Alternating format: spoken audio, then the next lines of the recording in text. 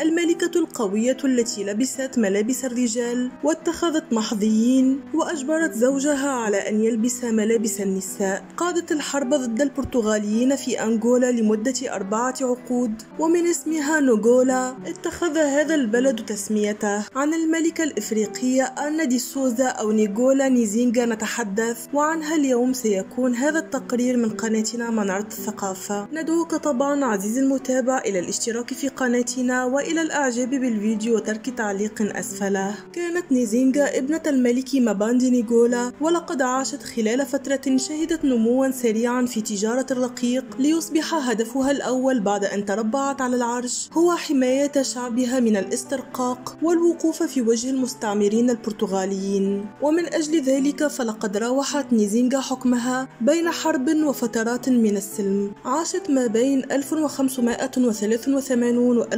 1663 أي أنها عاشت 81 عاما وتعتبر واحدة من أشهر النساء الإفريقيات في التاريخ. غير أن نيزينجا لا تشتهر فقط بقوتها السياسية وإنما تشتهر بأنها امرأة فرضت نفسها كحاكمة لمجتمع لا يقبل سلطة النساء. ليس هذا فقط ولكي تثبت نيزينجا بأنه لا فرق بينها وبين أسلافها الذكور قامت حقيقة بارتداء ملابس الرجال وتيجانهم وأجبرت زوجها على أن يرتدي ملابس نساء وليس هذا فقط. فلقد ذكر عدة مؤرخون وكتاب ومن بينهم درابر الذي تحدث عن البلاط الملكي لنيزينجا سنة 1668 بأن هذه الملكة كان لديها بين 50 و 60 محظيا يرتدون جميعا زي النساء. وطبعا لم يكن زوجها أو محظيوها من الشواذ أو المثليين وإنما كانوا رجالا عاديين. أجبرتهم ملكتهم على ارتداء هذه الأزياء. حتى تكرس سلطتها وقوتها وأنها لا تقل عن الرجال أبدا. أعزائي هكذا نكون قد وصلنا إلى آخر هذا الفيديو. سبق وأن نشرنا فيديو مفصل عن نيزينجا. نتمنى أن تكون هذه المعلومة الجديدة قد أفادتكم وإلى اللقاء في فيديوهات قادمة. تحياتي أنا فردوس حافظ الرشيد. إلى اللقاء.